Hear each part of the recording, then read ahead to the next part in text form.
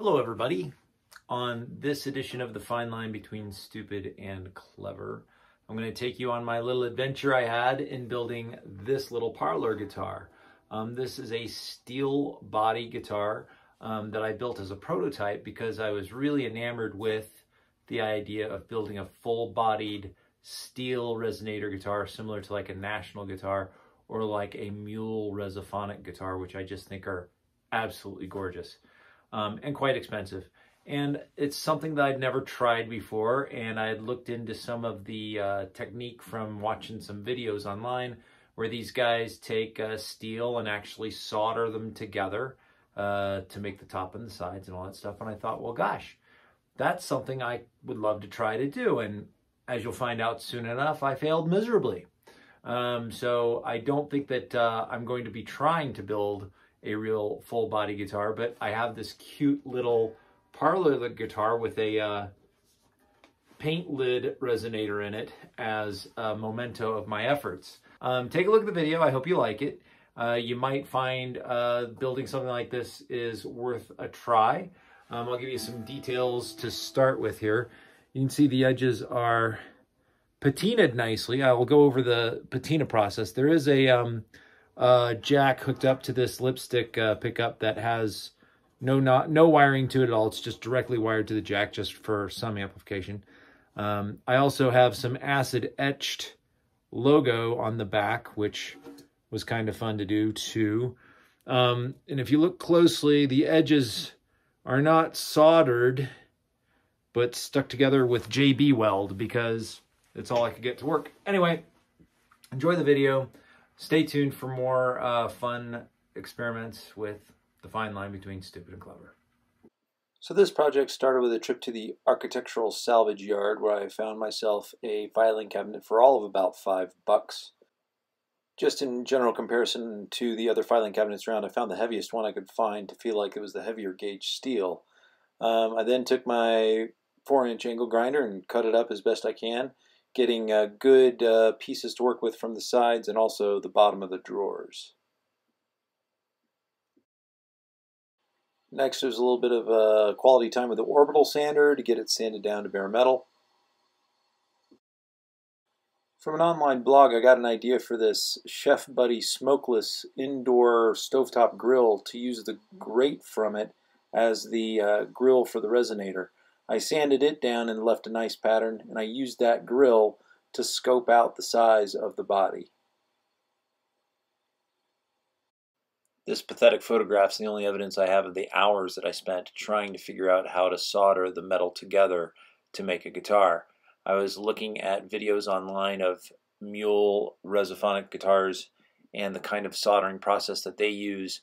I tried different torches, I tried different forms of solder, I tried things for copper, things for steel, and just with a bunch of scrap metal, all I did was make a big mess. So I pretty much got all my parts fabricated, ready to go. And before I put them together, I thought I'd just run down the parts list with you. Um, I did fail miserably in trying to figure out how to solder the body together. So I stopped by Home Depot today and picked up JB Weld, the old-fashioned cold uh, weld formula that I think is going to work pretty well for this. And um, I know I'm not convinced whether I'm going to move ahead and try and build a full-sized uh, steel body in the future, but for this guitar, it's going to be fine. Um, so starting with the parts, first I have my neck. This was a leftover neck from a previous project. It was a butchered um, Squier Stratocaster. The headstock got cut off, and also the um, body was abused in multiple ways for nefarious reasons that I'm, I'm not going to go into details. But part of this uh, project was also to try and get rid of some spare parts I had lying around, sitting around doing nothing. So this is going to be a good thing for it.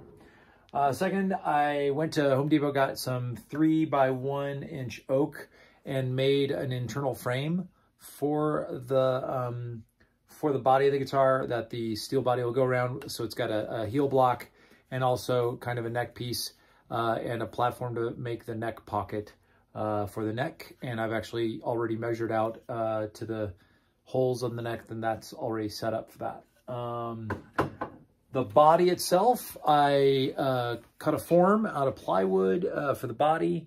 The initial thought on this was um, because the steel that I harvested from a filing cabinet I had uh, limitations on the dimensions of the body, so I decided to make a, just a small body, narrow uh, body, small um, small features so I could use the drawers that came from the filing cabinet. Also, I realized since I got a small filing cabinet, I was going to be limited in the length of the sides that uh, I could cut out of the harvested material, so I kept it super small. Um, so this is my form, and likewise with the floor or with, a, with the bottom parts of the uh, drawers from the filing cabinet, I have cut my top and my bottom. Um, they're still painted on the inside. The outside's all sanded clear. I even tried, uh, I left some interesting uh, texture on the back because I tried the grinder to get the sand uh, paint off. Um, and it just worked better to use uh, like 80 grit sandpaper on the orbital sander. I cut F-holes in the top with um, a combination of drill bits and a Dremel, and it was a little frustrating. I, I could file them down and make them a bit cleaner, but I'm not sure how the guitar is going to turn out just yet, so I could spend a little bit more time cleaning those up. You can see that um, I cut uh, little relief slots around the edge, so um, when I'm putting the guitar together, the relief slots, the, the form of the guitar comes right up to those relief slots, and I will take a hammer and hammer those edges down so it'll create a flange to glue the um, sides together with. So uh, that's the body. For the resonator, um, because I decided to make it a very narrow body just to see if I could glue a body together, I went with a cigar box resonator. So this is just a little spun piece of aluminum, uh, six inch uh, spun piece of aluminum that they sell. Someone's put on a lathe and create a little uh, pattern there. Um, and it fits right in the six inch hole pretty well. So it's actually going to keep a pretty darn flat profile for the guitar, which will be nice. Um, and since the, these were only about $7.50, um, for, I think I got these from CB Guitars, uh, the, the kind of cigar box guitar place. I had free uh, shipping if I got uh, an order over 15 bucks. So I bought two at 7.50 each. So there you go, free shipping. Um, let's see, I have fabricated a trapeze tailpiece. Now I used, uh, um, I actually bought a piece of 16 gauge steel from Home Depot for this because it's a little bit heavier. Uh, and actually there's quite a bit of fabrication going on with that. Um, in the end of the tailpiece, I also am putting in a tailpin jack. So uh, my tailpin jack will fit right into the tailpiece like that.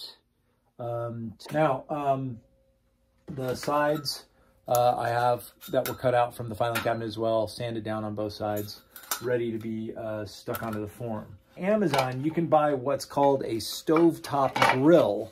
This is a stovetop grill. Actually, the interior of it's already been sanded and I cut the hole out of the top. But it comes in two pieces, the grill part and then this flange that goes over your, your uh, flame on your gas grill. But uh, if you take this piece off, sand it down and cut the hole out, you have what actually turns out to be a pretty cool resonator cover. And it is actually the exact same dimension as the store-bought cover, or very close to it. It's just a little bit smaller by an eighth of an inch or so. But uh, for a low-cost alternative to a fancy uh, grill cover for a project, you might think about one of these too. Um, let's see, what else did I learn from that? That's about it. Oh, uh, for the cigar box kind of resonator, there's another thing called a paint can lid resonator. Now, this is literally a uh, gallon paint can lid that some folks buy in bulk and then they put on their metal lathe and they spin it and uh, form a little bridge out of it like that. Um, in comparison to the six inch spun uh, purpose-built um, resonator, uh, the feedback that I saw on these, the paint can lids are easy, cheap, easy to come by. This is only eight bucks too. But it uh, leaves a very small ridge uh, you got to be very precise when you cut your hole for the paint can lids. When the flange on the spun aluminum one has a little bit more room to play. So if you have to try to adjust the intonation or move the bridge up and down a little bit, you're going to have a little bit more luck with adjustment with uh, the, the spun aluminum than the paint can lid. But I just think the ingenuity, that's great. Thought it was cool. Bought one anyway. Well, overall, the hammering of the back, I think, went really well. Um, it's left a very nice, pretty smooth, um, happy edge. I like the profile. It looks really nice. I didn't realize why, but I didn't cut out the uh, complete neck pocket, so I made uh, pencil marks to finish cutting that up. Another thing to note is like around the edges uh, where the curve was the tightest, some of the um, little flan uh, tabs overlap one another here, and maybe that's part of how it stretched a little bit while I was hammering down, but just the, the mechanics of making that turn. So I'm gonna have to go back and uh, with my Dremel and cut out some of those spots that are overlapped, but that should be easy to do without disrupting the, um, the integrity of the, the top surface, which looks really good. So uh, I hope I have as much luck, luck with the uh, top. We'll start that next. So as I was mocking up the um, guitar a little bit, the original plan was to um, leave the top of the guitar on the form and use this form as a brace to, to um, support the top as the side is bent around and clamped to the form this way, creating this approximation joint that then I would either, that I would solder the joint here to the top with a torch and with solder and with something like that. All that really didn't work out very well. So um, now that I'm thinking about going to the JB Weld uh, component, um, instead of uh, uh, gluing the sides just onto the top, then removing the form, then trying to find a way to glue the bottom or put the middle frame of the guitar in and then glue the bottom to the sides, I decided I'm going to change it up and I'm going to do it all at the same time. And the way I'm going to do that is get rid of the form.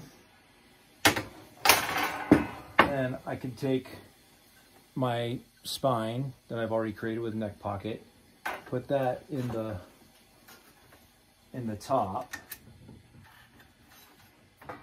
go ahead and the, the original point with the sides as high as it were, the back was actually going to be supported only by the sides. It wasn't actually going to be resting on the spine of the of the um, form of the, of the backbone of the guitar.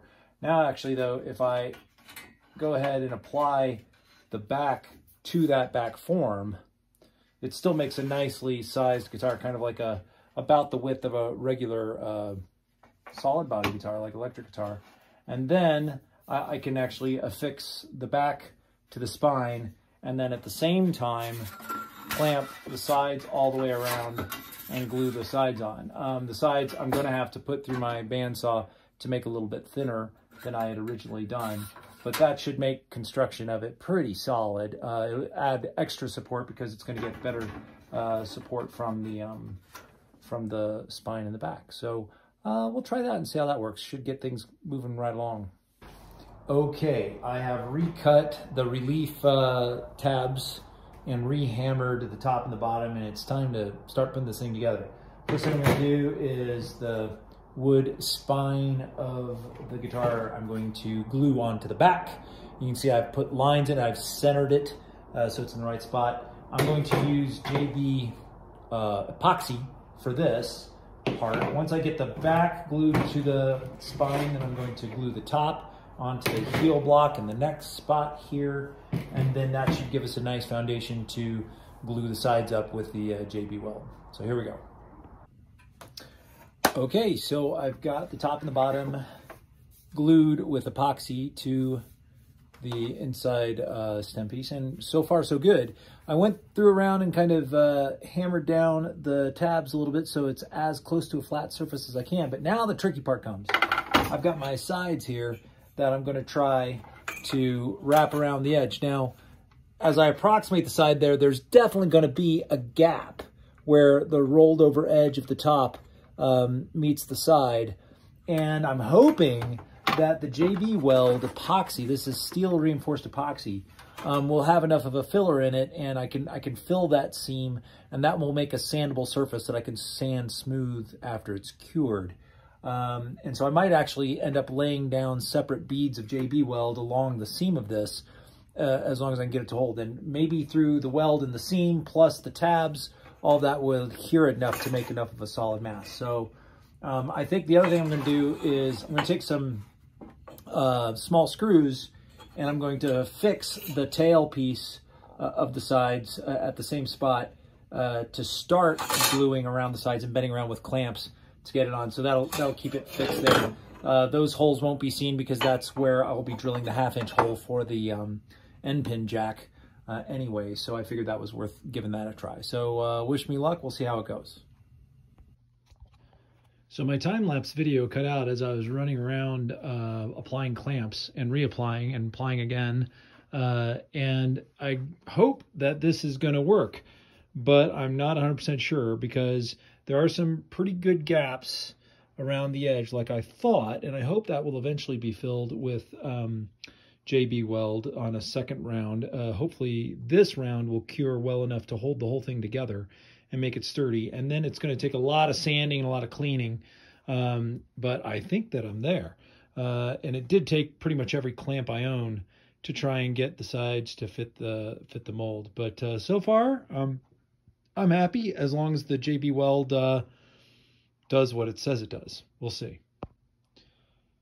So after about, uh, I guess, 20 hours um, in the clamps, took it out, it's uh, pretty cured, and I think it's holding together quite nicely. The clamps, you will see that I've got some major gaps going along the sides here that I'm hoping that I can uh, create a, a feathered edge and actually the top bow here actually sunk into the side a little bit did that on both sides. I think that was just with the pressure of the clamping.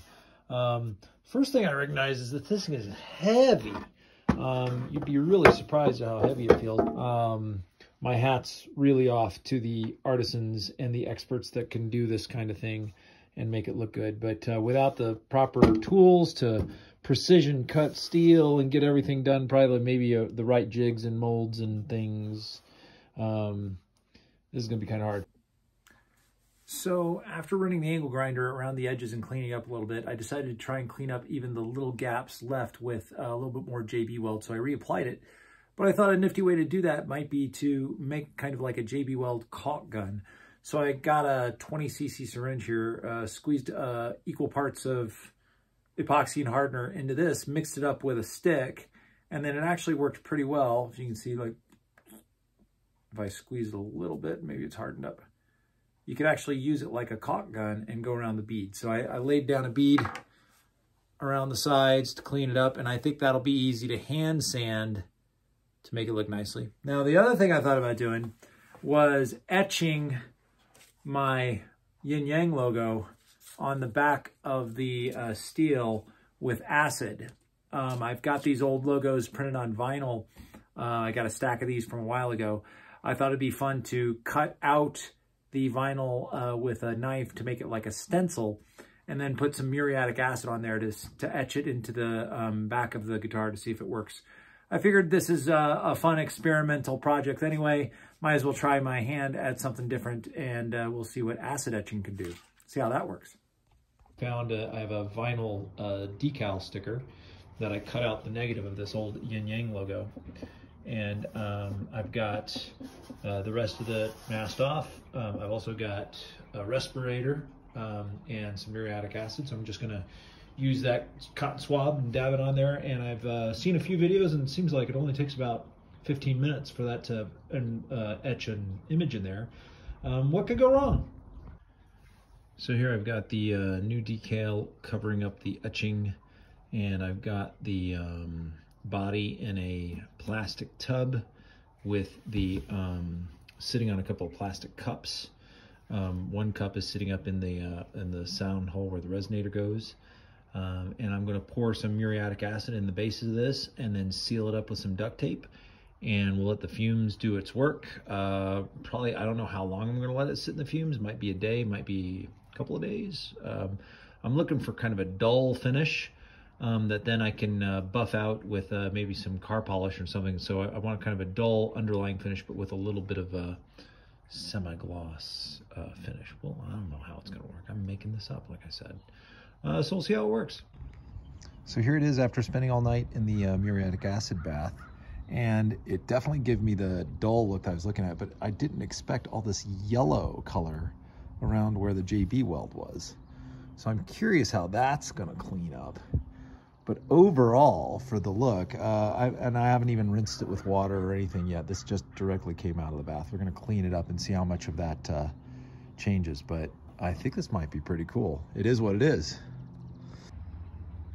So just FYI, as I uh, took this thing out of the uh, muriatic acid bath, it has continued to patina just in contact with the air here.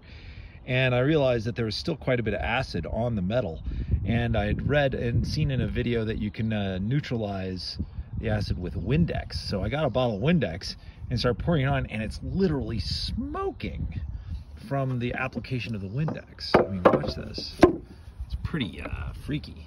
So I think it's still doing quite a bit of reacting. But this should get it to calm down.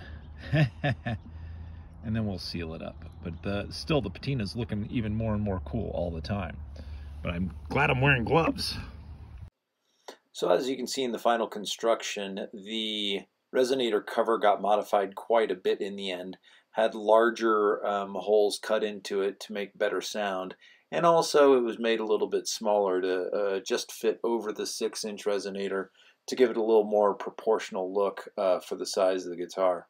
Um, we did. I did add a um, lipstick pickup right up by the neck, and that's attached directly to the end pin jack that then uh, can get plugged in for just basic amplification. It plays pretty nicely, and it uh, makes enough sound for a, a campfire or just like a, a small setting. Um, it's also small enough to fit in a small suitcase and easy to travel with. That's for basic sound. It actually makes quite a good amount of sound. With a little uh, resonator that's in it. It's good for like a campsite or something like that. Um, running through the my little big stack here. The uh, little neck lipstick pickup. There's plenty of sound little bit tinny on the tinny side, but what can you expect from a body this size and made out of metal? Tinny, I guess.